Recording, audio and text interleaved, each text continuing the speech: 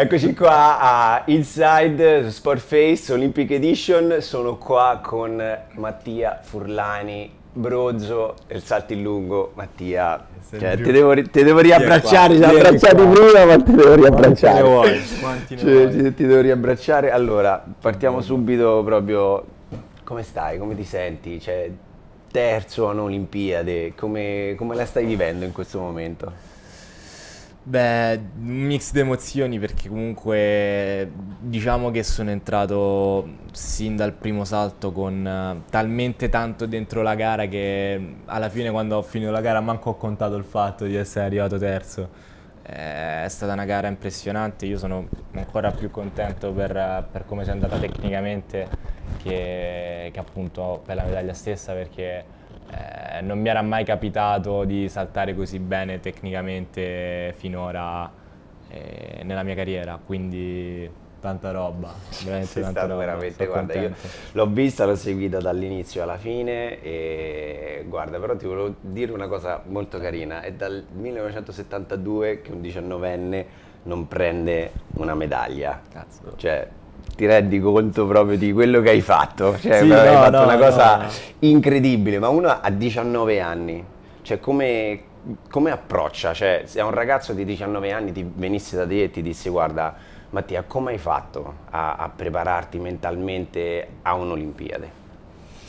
Beh, sicuramente per prepararsi un'Olimpiade servono le esperienze, secondo me, che sono quelle più importanti e che ogni tanto magari sento anche molte persone, eh, no vabbè dai, non lo mando a un determinato campionato eh, internazionale perché è presto ancora, è troppo giovane, ma in realtà le esperienze vanno fatte sin dall'inizio. Infatti a me molte volte sono stato criticato, magari anche da- dall'europeo dell'anno scorso indoor, in cui mi dicevano: Eh, ma è piccolo, perché va a fare i campionati europei indoor? Non ha senso.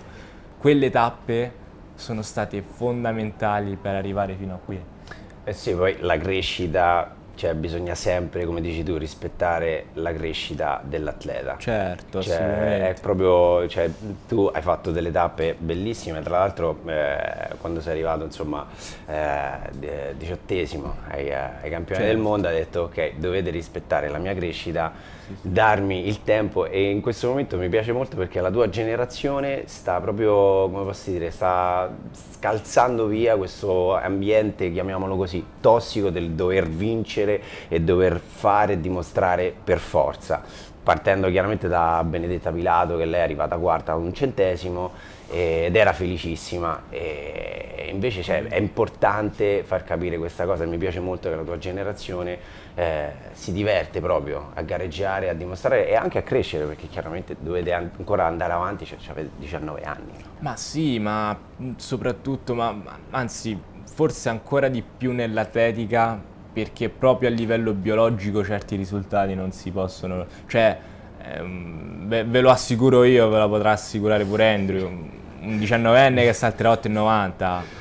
È un po' sì, Non cioè, esisterà senso- mai, credo, senso- cioè- senso, cioè, è una cosa, magari le persone a casa Esatto. non, lo sanno, però insomma... Però cioè, magari un atleta di nuoto che può fare il record del mondo a 19 anni può esistere. Sì, Eh, no, noi, noi Quella differenza. abbiamo bisogno diciamo anche di, di capire Esatto. determinate cose Eh. tecniche, dobbiamo migliorare nella forza, nella Esatto, velocità, quindi insomma ci sono tante nel- nell'atletica è ancora più importante questo discorso per far capire che, le tappe sono fondamentali e non bisogna bruciarle.